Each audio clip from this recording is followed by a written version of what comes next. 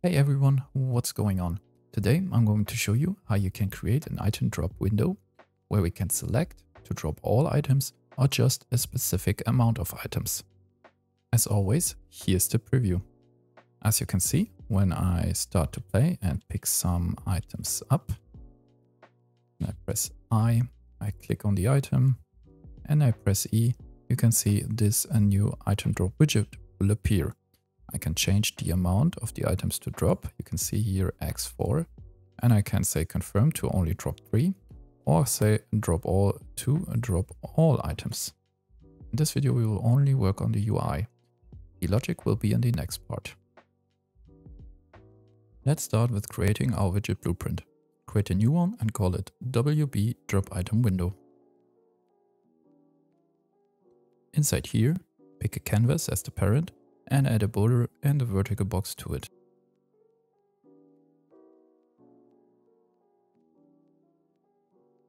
For the border, set the anchor to full and zero everything out.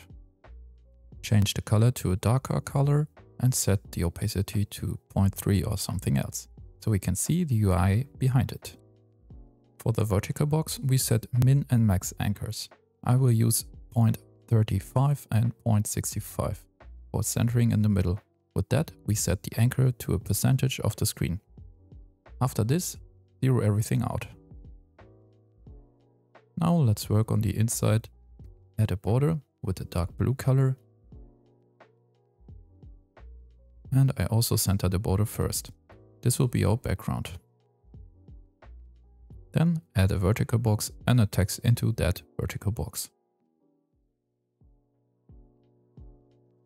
Next we get a border as a simple separator. Change the padding to only 2 on top.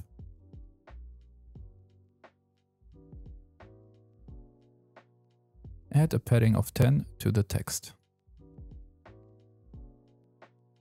Then I add a vertical box, which will be our slider container. Inside that we add two texts a horizontal box and inside that horizontal box we want a slider and a text.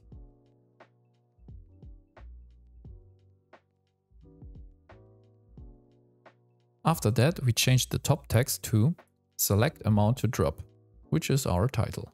You can change the font like I do, but you don't have to.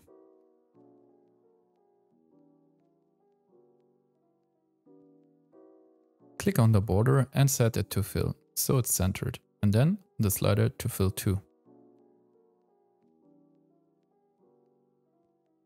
Click on the container vertical box and give it a padding of 10. The inside text box could also be formatted and the text should be set to item X. And make sure to set is variable to true. Give it a name so you can identify it in the code behind. Same goes for the second text box. This will be drop amount.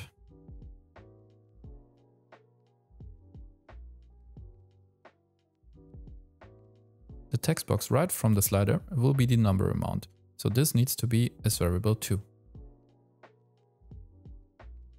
The slider could get a padding of 10 to the sides.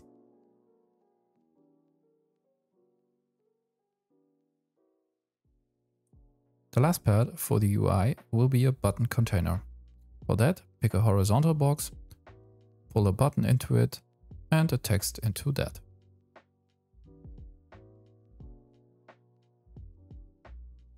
The button tint should be a little bit darker than the background.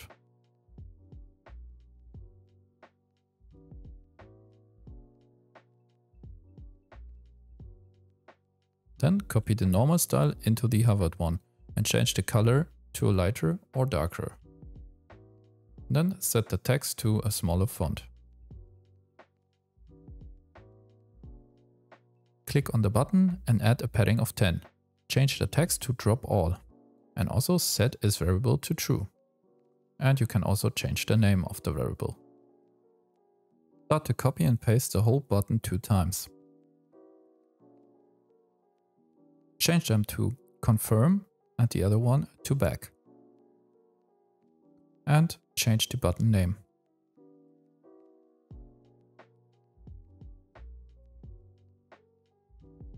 After that, let's add a second separator and move it to the bottom.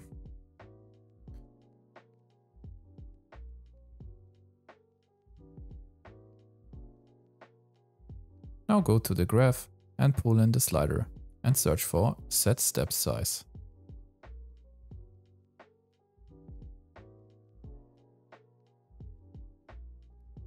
Get another slider and search for set min value. And for both, set the n values to 1.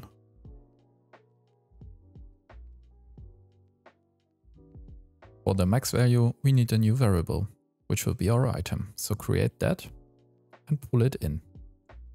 Then from the slider, get the set max value and plug the amount from the item into the max value.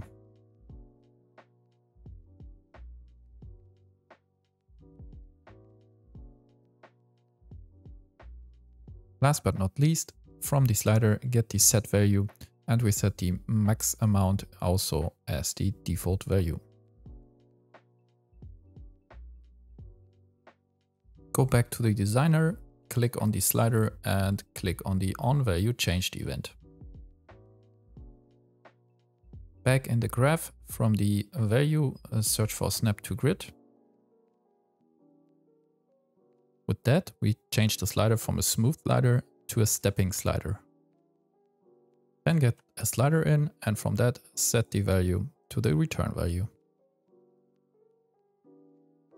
Go back to the designer and now let's add the on-clicks for our buttons. From the back button, we can directly search for remove from parent. For the other two buttons, we need to work on our blueprint interface. So open this up and inside here, create a function drop all and a function drop item by amount. Click on drop all and add an input, which will be an item name from type string. Click on drop item by amount and here add string and an integer.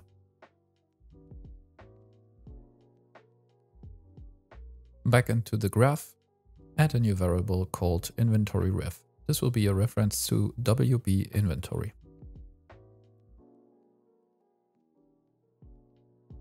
Pull in the WB inventory and go back to the uh, WB inventory and make sure to compile it because we added new functions to the blueprint interface. Back in our item drop window, we get the drop all message from the inventory ref and we get also the drop item by amount. Connect them to the buttons. Copy and paste the remove from parent and connect it to the drop all and the drop item.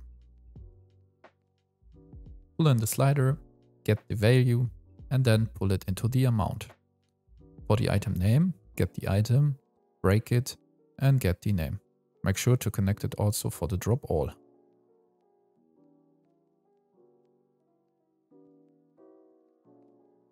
Now let's work on showing the window. So go to the drop item input action, pull this a little bit out here. After the is valid, get a branch. Move also the item data and the break to the left. Then expand it and get the amount. Check if it's greater than 1 and connect it to the branch. After that, change the true and the false branch, because if it's greater than 1, we want to create the widget. So from the true branch, create a is valid check. And from the is not valid, we create the uh, widget. Select the item drop window and then promote it to a variable.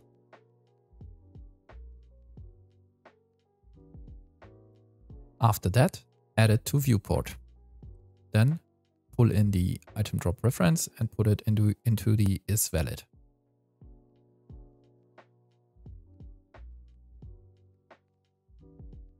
From the item drop ref, get the item and use the last click slot and the item data from it to fill it. Then get a branch. Again, get the item drop reference and search for the is visible and connect it to the branch. If it's not visible, select add to viewport.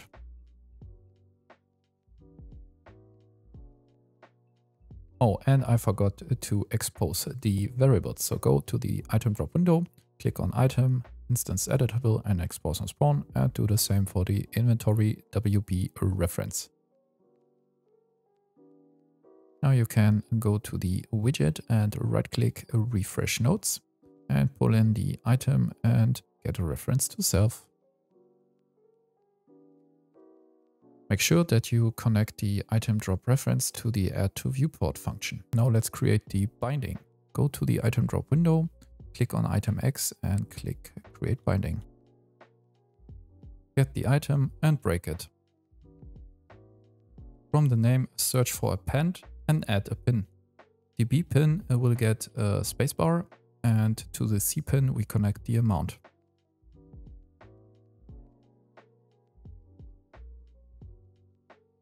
Then I set it to upper and after that I connect it to the return value. For the text box near the slider, click also on a create binding and get the slider in and from that get the value. Connect it to the return value and now we are ready to test it. Connect it to the return value and now we are ready to test it. Press play, collect uh, the same item press I and now click on the item and press E. And as you can see, we have here our small drop item window where we can change the slider and click on drop all or confirm. In the next video, we will work on the logic behind the drop all and the confirm button. But for now, that's all. See you in the next one. Bye.